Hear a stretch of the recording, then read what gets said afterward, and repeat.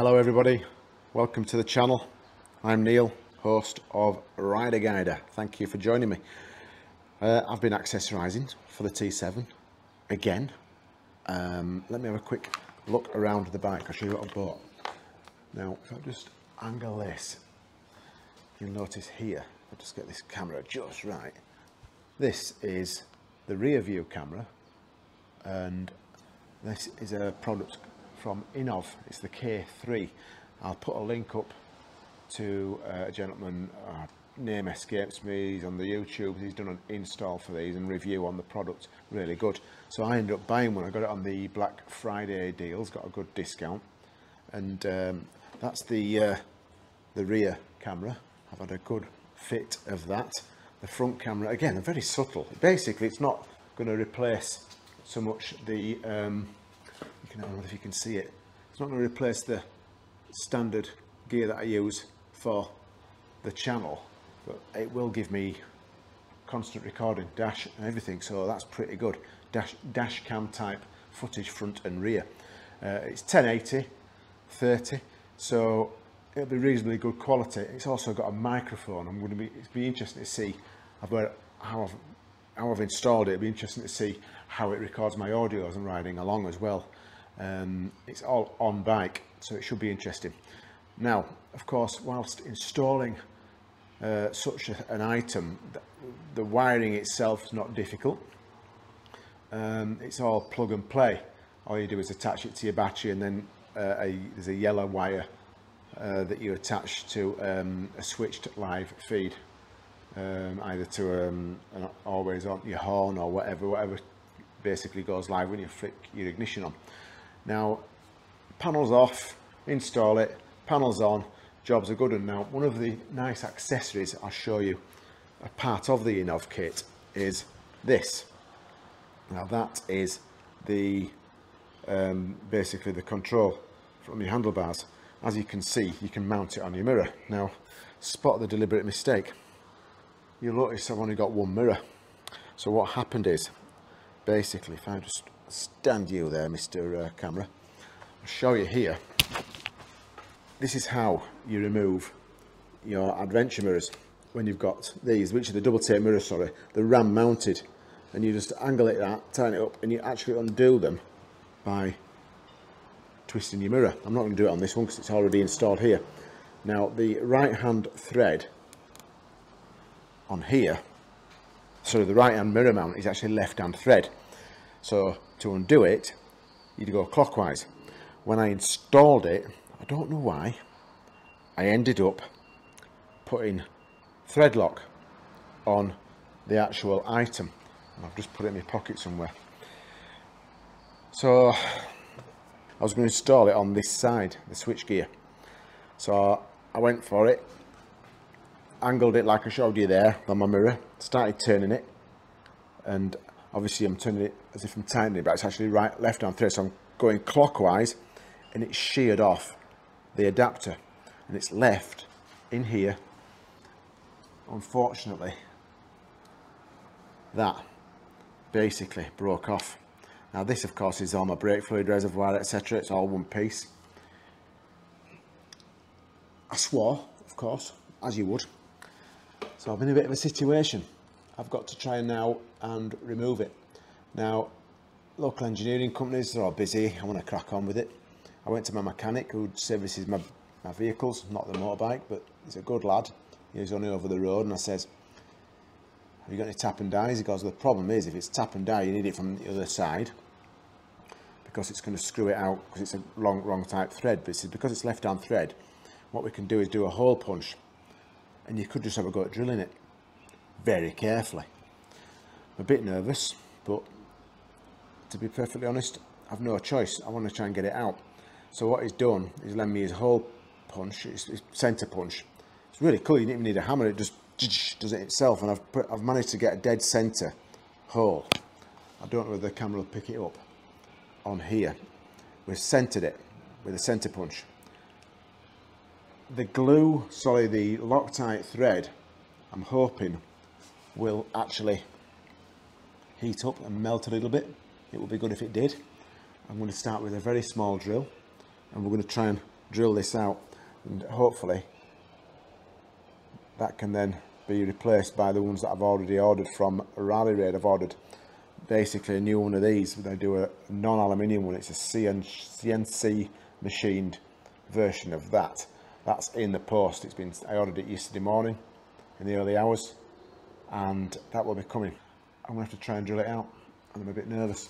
Right, so of course we need to wear a bit of protection. Doing all these uh, little iron filings going all over the top of the bike and into the shenanigans. So let's see how we go. Nice and steady now. I'm not sure it's this, the right thing to do. I'm going to try and run a very fine pilot drill through it. A bit nervous. Uh, I'll just do a bit at a time. I won't get it on slow mode. I'm just going to try and... The problem with using a very, very fine drill, of course, if it's at risk of breaking and it break off inside, it makes it even harder. So that's the concern here. I'm just going to line it up with the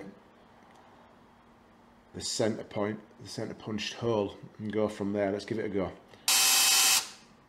With it being aluminium, it should be too hard to drill I hope. But oh, I'm nervous. I'm more scared about breaking the I'm more scared about breaking the drill off in, in the hole.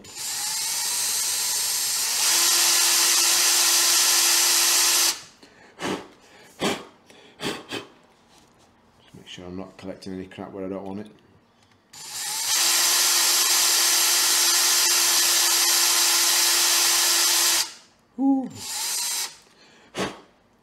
So I feel like I'm going in quite deep there, but I haven't really gone in that far yet, as the actress said to the bishop. As, as you can possibly see, I'm getting quite a bit of progress there.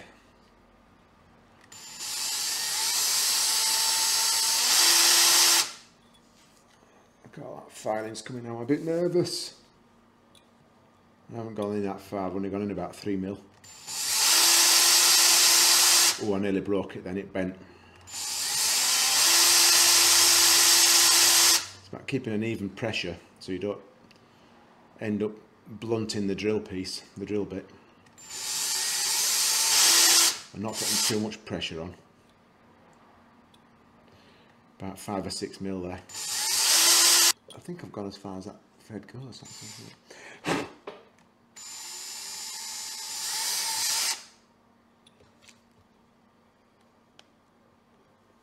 Oh, probably not. I reckon I've got another couple of mil yet.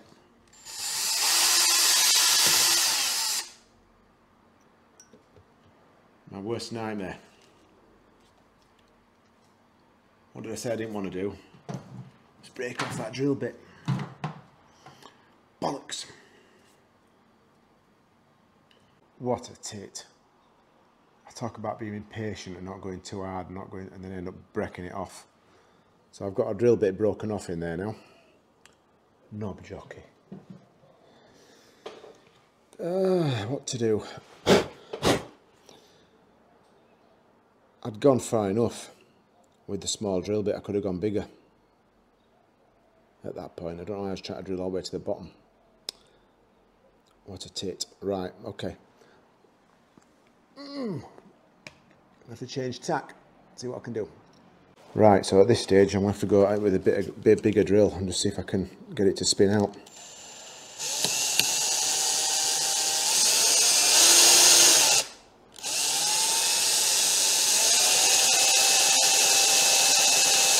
I've got no chance of getting that into there.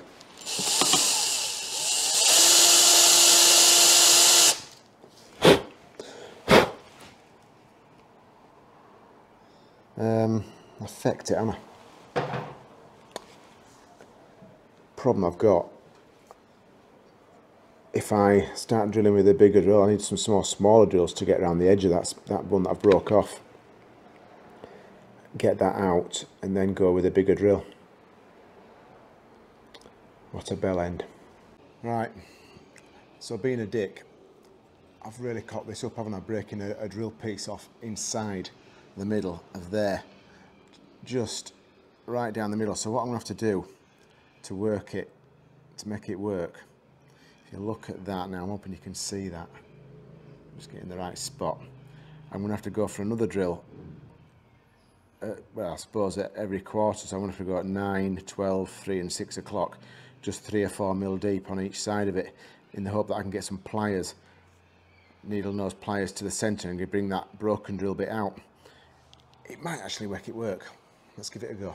Okay, nervous times. I'm not sure this is going to work without damaging the thread either side. I've got an eighth drill bit. I can already feel it slightly clouting that side one. Yeah, I should have gone for a smaller drill bit than that. I think maybe that's an eighth. Obviously I've got to be careful I'm not damaging the thread. On the edge for the original threads. I'm not sure this is going to work.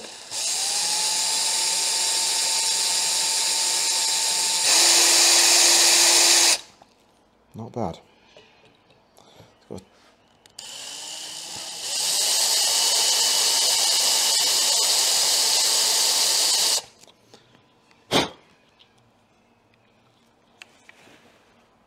Oh, Jesus. Holy moly.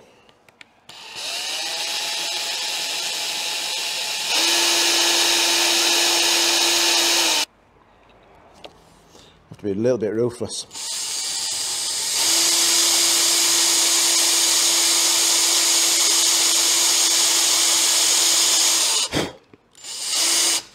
Remembering what happened last time, I obviously Got to be careful I don't break this next drill bit off in the middle.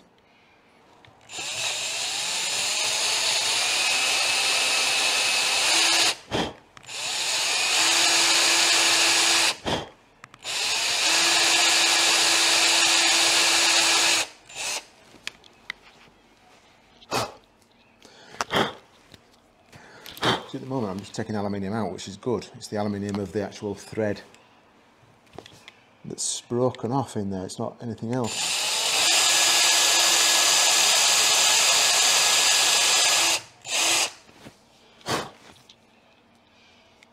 Hmm. I wonder if I could get a screwdriver in there. If I can get it across there. It's in now.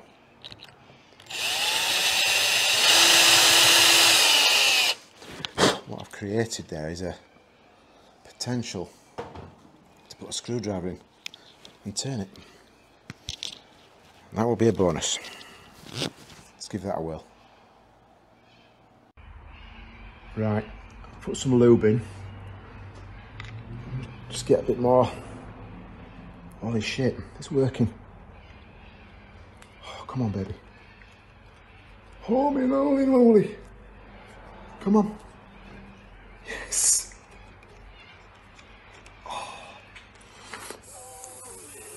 Heck yeah. That is a win. There's a lesson learned here. Let's have a look inside that hole. And look, I've managed to have very minimal damage to the threads here. Just wipe that out. I've got a little bit of scarring on the edge. Let's have a look around the inside of that. There's plenty of thread there.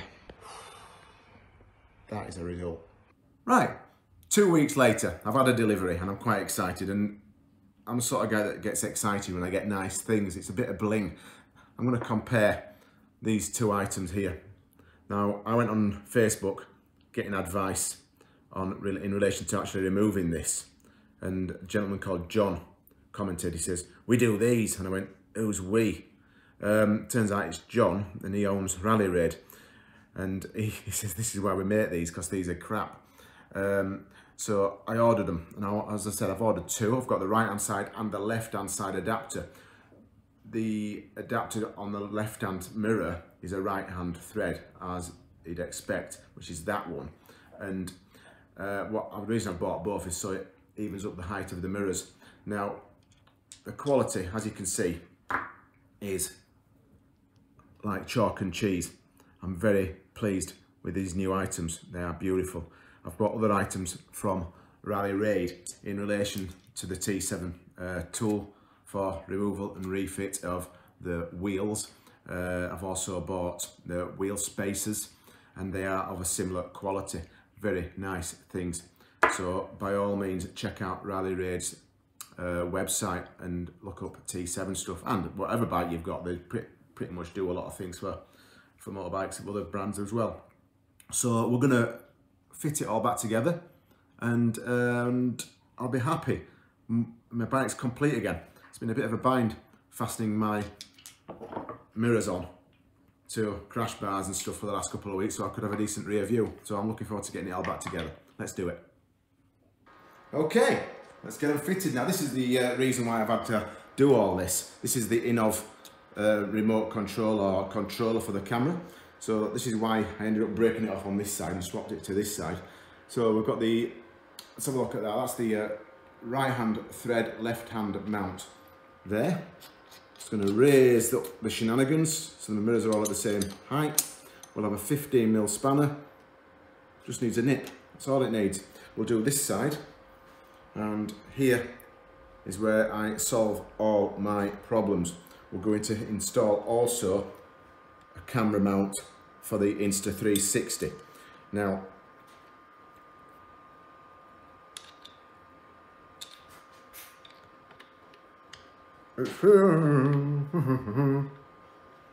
it feels very odd. Always anti-clockwise in to tighten, but that's where we're at. So what I'm to do now is just give that a nip up there. I've got the mount for the camera. At this point now, we're going to tighten this. So this is back to right hand thread. Now we do this by way of attaching the mirrors because this ball is tightened by this arm. So what we'll do, we'll put that on there, put that on there, tighten it all up and it gives us a bit of a leverage to tighten up. Now, of course, we're going to tighten it up. Nice tight there. When I tighten this up, of course, the potential is to untighten that. So I'm going to, loosen that off. So I'm going to hold that spanner there and just give that a bit of a nip. That's tight. Then what we'll do, set up the mirrors. We'll adjust them when we get out shortly. My life will, of course, now be complete because I'm back to using my mirrors properly rather than having, I've had to do all sorts recently in relation to mounting my mirror on my engine guards and I'm back to normal now. Very happy to have these back on and running and uh, that is the job done. It's been a bit of a, a bit of a journey is that and a good experience. Thanks for watching everybody. See you on the next one.